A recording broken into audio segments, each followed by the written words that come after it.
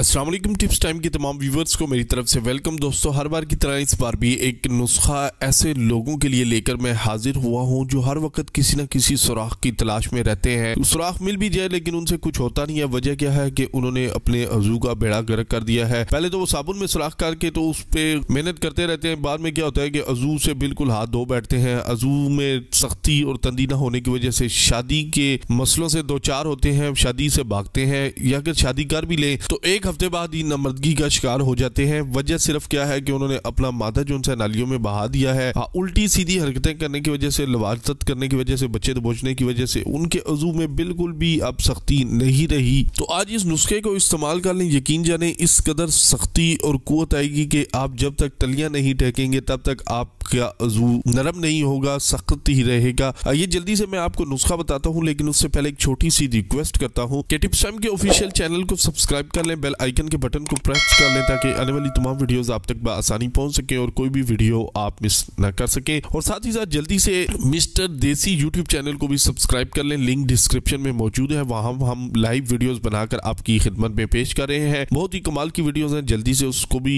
आप सब्सक्राइब करें। आइए अब मैं आपको नुस्खा बताता हूँ। सबसे पहले तो आपने क्या करना है? एक किलो फिलफिल दराज लेनी है। ये आपको किसी भी पंसार से बहुत ही आसानी से मिल जाएगी। आपने घर लेकर आकर उसको अच्छे तरीके से साफ़ करने के बाद दो किलो गाय के दूध में आपने उसे पकाना है, जोश देना है, हल्की आँच पर। जब वो पक जाए, यानी दूध बिल्कुल खत्म हो जाए तो आपने क्या करना है, उसको उतार कर, उसको साय में खुश करना है और खुश करने के बाद आपने उसको पीस कर, यानी उसका सफू बनाकर अपने पास रख लेना है और रोज़ाना तीन दरम आपने मिश्री मिलाकर गाय के कच्चे दूध के साथ इस्तेमाल करना है। यकीन जाने, सिर्फ़ दो हफ़्ते के इस्तेमाल से ही आपकी बीस साल कमज़ोरी को दूर करेगा, आपके अजू में सख्ती लाएगा, आपकी जितनी भी कुत है उसको बहाल करेगा। बहुत ही कमाल का है। पच्चीस साल से लेके अस्सी साल तक के बाबों के लिए भी ये नुस्खा बहुत ही कार आमद है। जल्दी से इस नुस्खे को इस्तेमाल करें।